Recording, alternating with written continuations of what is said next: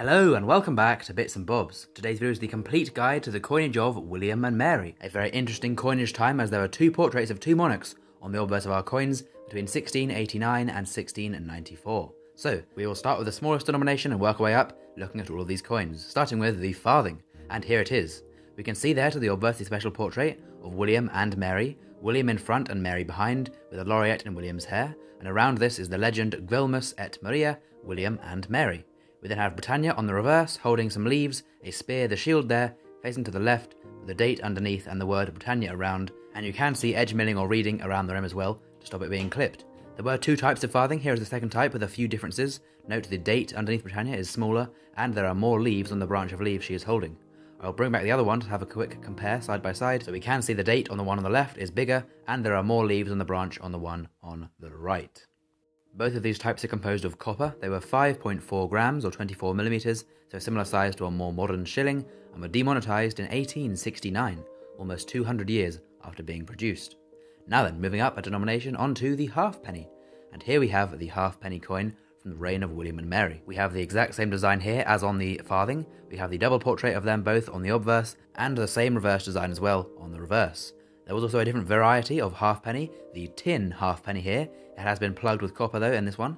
We can see a tin coin featuring the same design with a copper plug in it, and these tin ones were made to support the tin miners at the time. There was also a pattern halfpenny released, with a very similar design on the reverse, but a different portrait of King and Queen on the obverse, with a smaller and slightly more realistic portrait of the couple. Now then, moving on to the penny, the one penny piece from the reign of William and Mary. We have it here. It is a Maundy style silver coin, with the reverse featuring a Roman style 1, crowned with a date at the top this, and a legend around. And then on the obverse, we can see here a portrait of William and Mary in a different style. This one cuts off further up and so has no clothing visible, and the portraits are smaller, thinner, and closer together, with a legend around this on either side. Now then, a quick detour from the circulating coins, we'll have a look here at the Maundy coins, the Maundy sets of William and Mary, and here it is. We see the familiar designs of the 1, 2, and 3 numbers, then crowned with a date atop this, and the legend around this for the reverse designs, and on the obverse we can see every portrait is the same, just differently different sizes, of that more thin, closer together portrait of William and Mary. Now then, moving on to the twopence piece, the circulating twopence, it has the exact same design as the Maundy one. We can see the number two there, as I say, crowned, date, legend around that, and then that same portrait of the king and queen used on these silver coins so far we've seen. And I must say I prefer so far the ones used on the farthing and halfpenny. Now then, moving on once again to the threepence, or threepence as some would say, and here it is. Once again, the same design as used on the Maundy coins, with the number 3 crowned, the date atop this, the legend around that, and the portrait of William and Mary on the obverse. Then on to the fourpence, also known as the Groat coin, and this one has the same design again as the Maundy coins, with once again date above crown, above number, the legend around this, and then the portrait on the obverse with milling around so it can't be shaved or clipped. Now then, moving on to a higher denomination once again, the sixpence piece of William and Mary. And here it is, a very cool design indeed. We have four crowned cruciform shields, with the lion in the middle, the Lion of Orange, the lion for the House of Orange, as William of Orange it was his full title. We see here the date around this central lion, 1693, all in different parts, and then above these numbers we can each see in four parts as well, a William and Mary cipher, so it's the W and M interlocked four times. A very cool design indeed. Now moving on to the shilling or 12 pence piece, we can see here this design once again.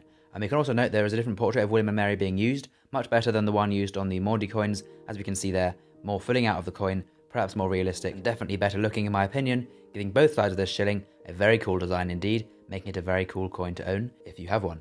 Now there are no florins minted until the reign of Queen Victoria, so we now come on to the half crown of King William and Mary. And here it is, we can see here once again the same design, the only change is that a bit more of a border around the Lion of Orange, and the shields are slightly more thin. We have then the big William and Mary interlocked cipher, the date 1693 again around this lion, with a legend around that, milling on both sides on that same portrait. A very, very cool design that was also used on the crown coin, as we see now. Again, it is always a bit lazy, I think, to use the same design on four different coins, but in this case, it is a very, very beautiful design, so I'll allow them to do that, as it will be very cool to see on big and small coins, as the design is tailored to fit the planchet size of these coins, and will look very cool in small intricate detail, or on the big planchet, with the design very, very nice to see.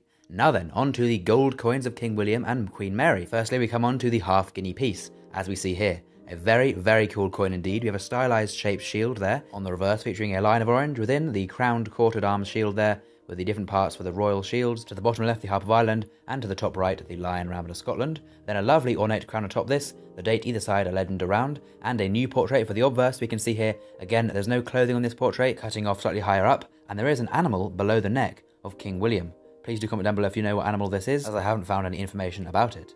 And now then, moving on to the guinea coin, another lovely gold coin from a great 1600s era, and it has again that same lovely design, with the Lion of Orange within the middle of the shield in four parts, two of them having the sort of royal shield design, the bottom left the Harp of Ireland, to the top right the Lion Rampant of Scotland, the crown and the date, the legend, all the same details as the one on the half guinea.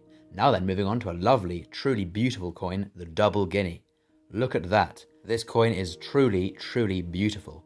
We can see here a very stylized shield with another lovely crown atop this, and I won't go through all the separate individual design features within the shield, but as you can see the design intricacy and detail on this coin is exquisite and absolutely beautiful, with a legend around this and the date at the top, and some strong bordering and milling there so it does not get clipped or shaved, one of the most beautiful coins I've ever seen. And now moving on to the last coin, the quintuple or five guinea piece, and again, this is breathtaking. A very, very similar design, a slightly wider shield and a different design of crown atop this, and again we have the animal under King William's portrait on the obverse. Now this coin is a massive piece of 40 gram piece of gold, a massive lump of that shiny yellow metal with a beautiful, intricate and wonderful design stamped on it. A truly amazing coin.